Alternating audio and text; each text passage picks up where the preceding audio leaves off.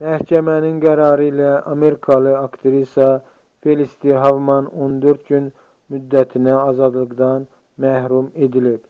Big Az Qafqaz Infoya istinadən xəbər verir ki, buna səbəb artistin qızının ali məktəbə qəbul olunması üçün imtahanın nəticələrinin saxtalaşdırılmasına görə 15 min dollar rüşvət verməsi olub.